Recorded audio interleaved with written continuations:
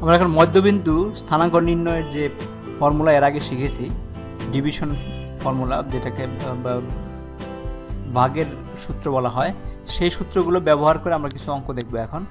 তো এখানে আমাদের আছে, দেওয়া আছে সেভেন সেভেন আর মাইনাস ফাইভ মাইনাস টেন বিন্দু দুইটি সংযোগ রেখাংশকে এক্স অক্ষরেখা যে অনুপাতে বিভক্ত করে তা বের করো। বিভাজন বিন্দুটির ভুজ বের করো। তো আমরা একটু এঁকে নেই, এটা করার আগে আমরা যদি আঁকি আমরা এক্স অ্যাক্সিস ওয়াই অ্যাক্সিস তো সেভেন সেভেন দুইটাই পজিটিভ তার মানে আমাদের এখানে হবে। তো এখানে যদি one two three four five six seven তো এই বরাবর একটা আসবে, যেখানে one two three four five six seven তো এখানে একটা বিন্দু আছে, আমরা এই বিন্দুটাকে বললাম এ বিন্দু, এবং তার ই হচ্ছে সেভেন সেভেন আরেকটা হচ্ছে minus five minus ten minus five minus ten মানে হচ্ছে দুইটাই মাইনাস এটাও মাইনাস এটাও মাইনাস তার মানে এইখানে আসবে। এই জায়গাটাতে চলে আসবে। তো এখানে আসতে হলে আমাদের এখানে কি হবে? Minus five one two three four five ধরুন এইখানে। আর হচ্ছে মাইনাস টেন নিচের দিকে এখানে কোথাও আসবে। এটা একটু বড় করে নেই। মাইনাস টেন ধরলাম বিন্দুটা এখানে, এইখানে এইখানে বিন্দুটা আছে। এটার ই হচ্ছে মাইনাস ফাইভ মাইনাস টেন তো এই বিন্দু দুইটা যদি আমি সংযোগ করে দেই, সংযোগ করে দিলে সে এক্স রেখাকে এক্স রেখাকে যে বিন্দুতে ছেদ করল, সেইটা আমাদের বের করতে হবে। তো আমাদের এর আগের আমরা ফর্মুলা শিখেছিলাম কি?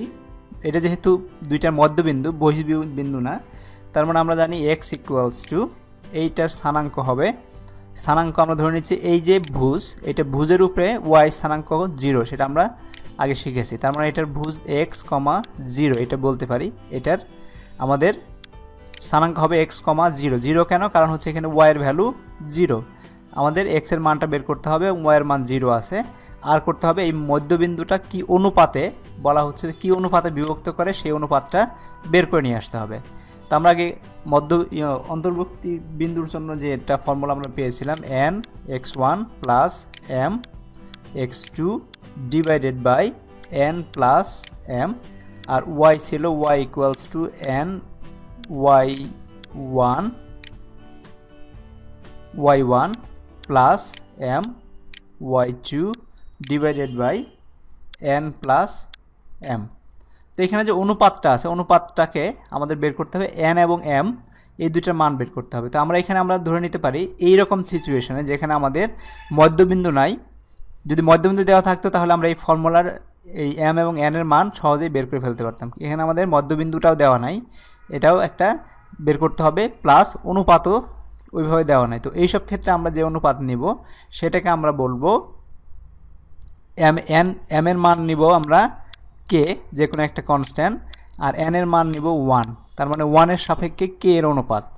তো এইখান থেকে আমরা বের করে নিয়ে আসতে পারব যে এটা আসলে অনুপাতটা কত। এইভাবে এরকম যদি অনুপাত দেওয়া না থাকে এবং মধ্যবিন্দু দেওয়া না থাকে, তখন আমরা কে এবং ওয়ান এম এর মান নেব কে এন এর মান নেব ওয়ান মানে কে ইস টু ওয়ান অনুপাত আমরা ধরে নেব। এখান থেকে আমরা কে বের করলে কে সাপেক্ষে ওয়ানের ভ্যালুটা আমরা চেঞ্জ করে নিতে পারব।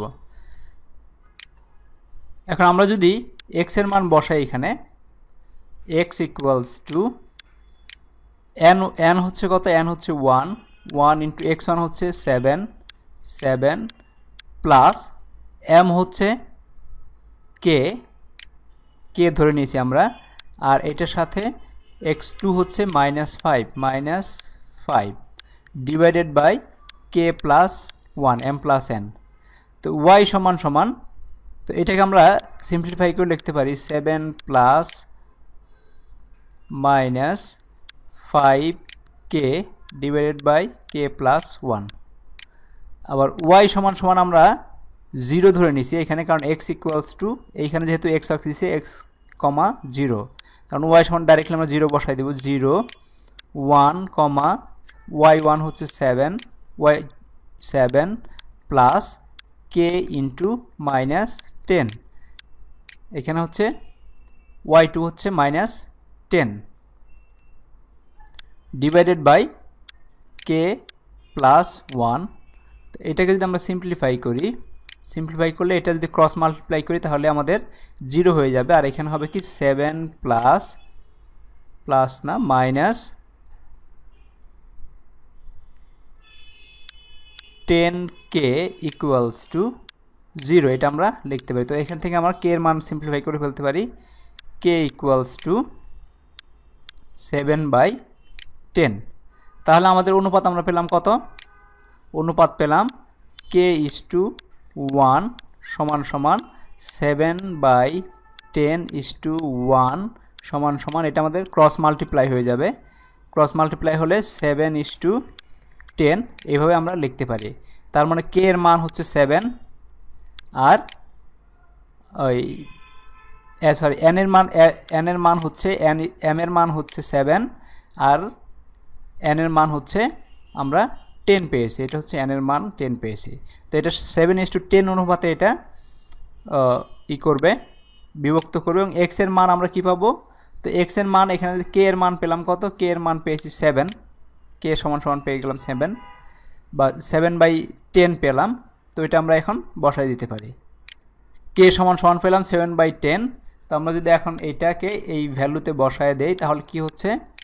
Seven minus five into seven by ten divided by seven by ten plus one তো এখানে আমাদের হবে এটা যদি লসাগু করি সেভেন্টি মাইনাস পাঁচ সাতা পঁয়ত্রিশ, আর টেন টেন চলে যাবে যেহেতু একটা নিচে টেন আর নিচেরটাও আমরা করি সেভেন প্লাস টেন এইভাবে লিখতে পারি আমরা। তার মানে হয়ে গেল সত্তর থেকে পঁয়ত্রিশ চলে গেলে আমাদের থাকতেছে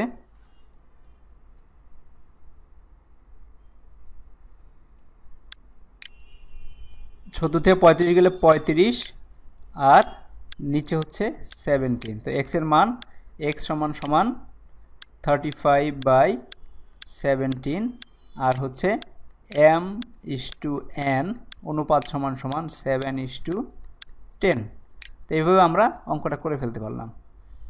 এর পরের যে অঙ্কটা দেওয়া আছে যে কোনো সামন্তরিকের একটি কর্ণের প্রান্তবিন্দু দুইটি স্থানাঙ্ক থ্রি মাইনাস ফোর আর মাইনাস সিক্স আর ফাইভ দেওয়া আছে। আর এর তৃতীয় আরেকটা শীর্ষবিন্দু দেওয়া আছে মাইনাস টু মাইনাস ওয়ান এবং চতুর্থ শীর্ষবিন্দু স্থানাঙ্ক বের করতে হবে।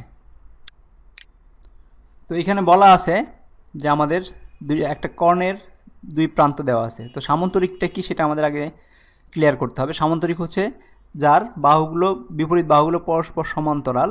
এবং কর্ণগুলো একটা আরেকটাকে সমদ্বিখণ্ডিত করে। তার মানে হচ্ছে আমরা যদি এরকম একটা সামন্তরিক আঁকি।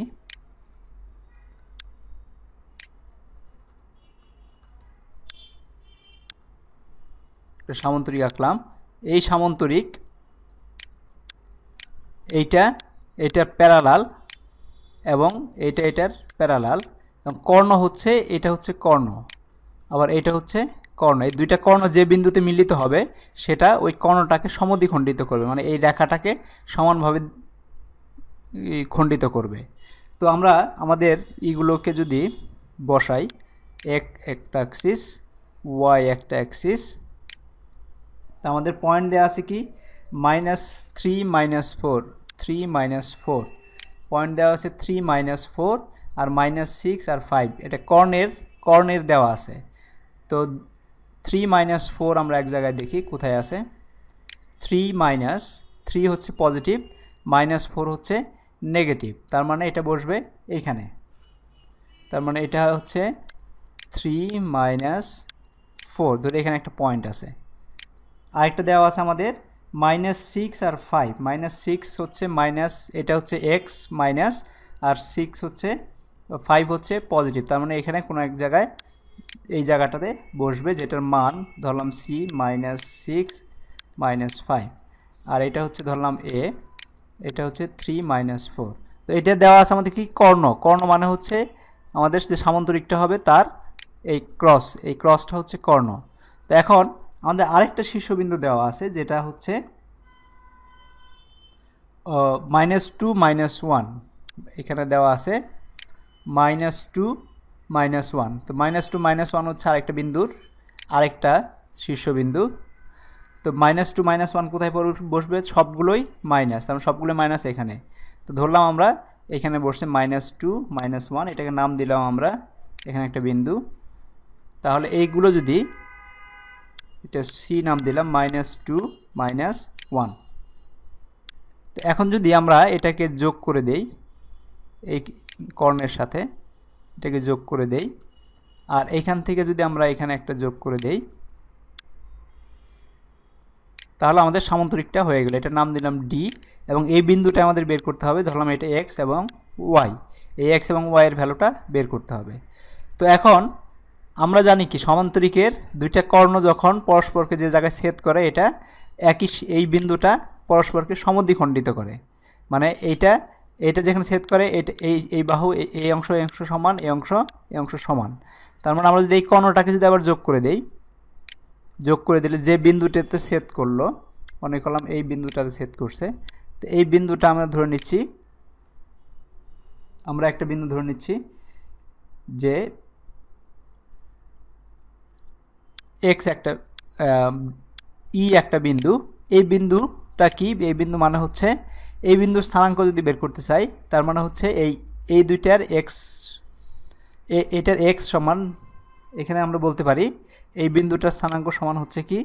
এই X one plus X two আমরা মধ্যবিন্দু স্থানাঙ্ক শিখেছি এর আগে। এক্স ওয়ান হচ্ছে কি? Three plus X two X two হচ্ছে মাইনাস সিক্স তার মানে মাইনাস সিক্স হবে ডিভাইডেড বাই টু এটা হচ্ছে এইটার এক্স স্থানাঙ্ক। এইটা সমান সমান কি হবে? আমাদের এই দুইটার যে মধ্যবিন্দু হবে সেটাও। তার মানে এটা এক্স মাইনাস টু এখানে এক্স এক্স এক্স প্লাস এই মাইনাস টু তার মানে X minus two divide by two কারণ এটা যেটা যে বিন্দুতে করে, এটা যে বিন্দু স্থানাঙ্ক এক্সের মান যেটা পাইলাম, এটার স্থানাঙ্ক, এটার মান, আর এখান থেকে আসলে এই দুইটাকে কনসিডার করলে এই মান একই হবে। তো এখান থেকে আমরা ক্যালকুলেশন করে কি পাই? ক্যালকুলেশন করে পাচ্ছি এখানে টু টু ক্যান্সেল আউট হয়ে যাচ্ছে। মাইনাস সিক্স থেকে থ্রি গেলে হইতেছে minus three equals to X minus two তার মানে এক্স ইকুয়ালস টু পেয়ে যাচ্ছি minus three plus two equals to minus one তার মানে এক্সের মান আমরা পেয়ে গেলাম মাইনাস ওয়ান ঠিক একইভাবে ওয়াইয়ের ক্ষেত্রেও আমরা লিখতে পারি এখানে ওয়াই ওয়াই হচ্ছে এই দুইটার যোগফল, তার মানে minus four plus five divide by two equals to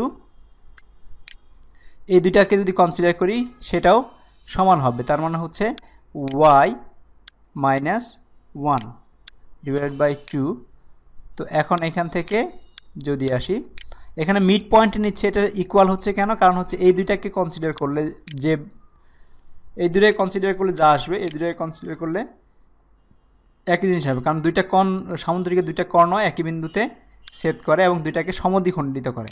এক একটাকে সমদ্বিখণ্ডিত করে। এই জন্য আমরা এটা পেয়ে যাচ্ছি।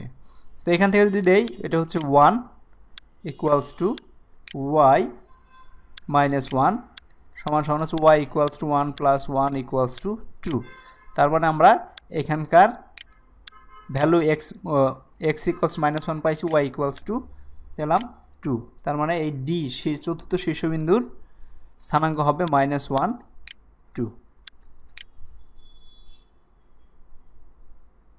অ্যাকচুয়ালি এই বিন্দুটা এখানে আমরা যদিও ধরছি, কিন্তু এই বিন্দুটা আসলে এইখানে কোনো এক জায়গায় হবে। মাইনাস ওয়ান মাইনাস ওয়ান আর টু এই জায়গাটাতে বিন্দুটা হবে। এই রেখাটা এখানে হবে। তো ড্রয়িং এই নাম্বার থেকে যেটা পেলাম, সেই ড্রয়িংটা আমরা যদি সত্যি সত্যি করি, তাহলে হচ্ছে এখান থেকে এখানে আসবে এবং এটার সাথে এইটা যোগ হবে। এখন এই পয়েন্টটা বসাইলে দেখব যে আমাদের একটা সামন্তরিক হয়ে যাচ্ছে। So thank you very much এরকম যত অঙ্ক আসবে, তোমরা নিশ্চয়ই ঠিকমতো করতে পারবে। না পারলে আমাদেরকে অবশ্যই জানাবে।